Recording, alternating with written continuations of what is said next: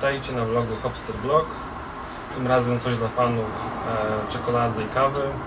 Czarna Wołga z browaru Artezan, e, czyli browaru rzemieślniczego i moim zdaniem topowego. Na pewno pierwsza piątka w Polsce. E, piwo w stylu Stout Porter, to Stout w skrócie, czyli kawowo-czekoladowy, ciemne słody, taki powinien być. No i naprawdę no, spodziewam się, że będzie bardzo dobry. Pokażę Wam może na początek etykietę. E, może od, od kaps, kapsel firmowy z jeżykiem. E, ta etykieta czarna wołga. Kontretykieta taka czerwona. No, jakość wykonania solidna. E, najważniejsze informacje są, nie ma jakichś szczegółowych może informacji, ale to wystarczy. Czytamy. Stout z płatkami owsianymi, czyli od razu e, powinno być gładkie, od razu można powiedzieć, na podstawie tego, że są te płatki. E, płatki owsiane, żyto, pszenica dają właśnie taką gładkość, aksamitność, miękkość w piwie. Ok, stout z płatkami owsianymi i trzema rodzajami słodów palonych zasypie. Mocno kawowy, czekoladowy, jednocześnie delikatny i aksamitny smak. Składniki: woda, słody jęczmienne, płatki owsiane, chmiel, drożdże, piwo niefiltrowane i niepasteryzowane. Niepasteryzowane bardzo fajnie. Ekstrakt 14, alkohol 5,5, igły, czyli goryczka 30, czyli taka, no jest, powinna być wyczuwalna, ale nie za wysoka. E, Data ważności do sierpnia, do końca sierpnia tego roku, czyli w sumie już niedługo. No nic, otwieramy piwo. Tak jak mówiłem, powinno być kawowo czekoladowe i gładkie, tak jak piszę.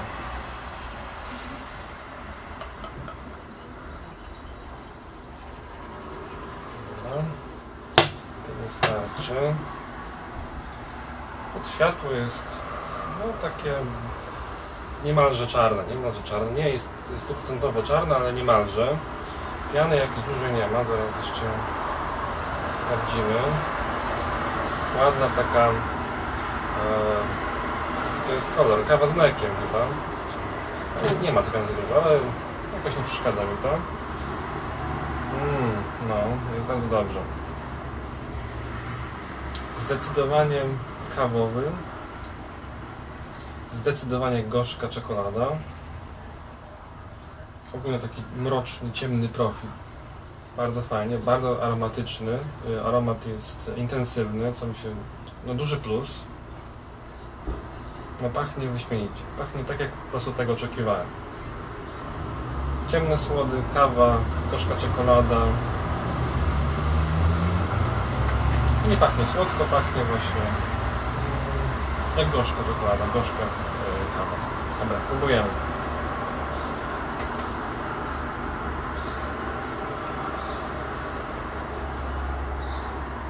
To samo w smaku czyli mm, gorzka czekolada, kawa. Czekolada jest naprawdę taka wysokiej jakości. Od razu to czuć. Piwo jest półpełne. Nie powiedziałbym, że jest pełne, ale też nie jest wodniste. Tak w połowie. Półpełne. Mogło być bardziej treściwe jak dla mnie. Nagazowanie jest. Średnie optymalne, bardzo, bardzo, bardzo w porządku, że niczego nie, nie brakuje. Goryczka niska, ale na pewno wyczuwalna. Kawowa, zdecydowanie kawowa.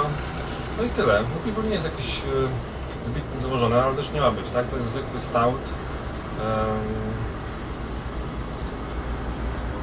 takie deserowe, o, to jest dobre, dobre, dobre skojarzenie deserowe piwo. Na pewno pasowałoby do lodu, jakiegoś deseru, do ciasta, idealne połączenie, tak moim zdaniem. Nie lubię takie piwa, lubię, jeżeli są rzeczywiście mocno kawowe, mocno czekoladowe. Yy, aha, nie powiedziałem w sumie, nie, powiedziałem, 5,5% alkoholu, czyli dosyć lekkie w sumie, jak takie e, przeciętne piwo. No i tyle, więcej już się już nie zadzieje.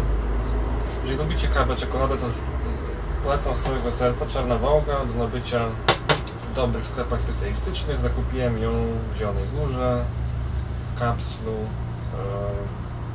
E, około 9-10 zł, ale trzeba wydać niestety, żeby zakupić dobrego stauta. Stautu, stautu. E, to było tyle. Wasze zdrowie, picie dobre piwo. Cześć.